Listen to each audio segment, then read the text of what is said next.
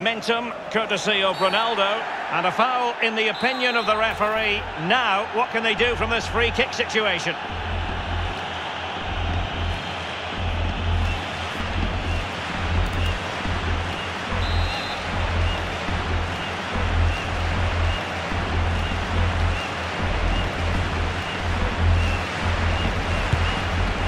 And a goal almost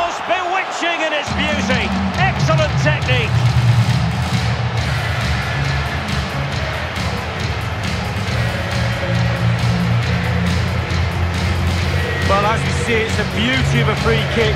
He calmly uses the wall as a guide almost, just to bend it into the net.